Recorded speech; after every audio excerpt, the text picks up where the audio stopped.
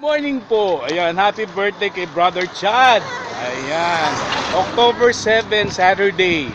Magsi 7 o'clock. Ayan, punta po kami sa Mass ng 7 o'clock and then maliit na katekesis, short katekesis at saka uh, susundan po ito ng reading activity. Ayan, happy birthday to you.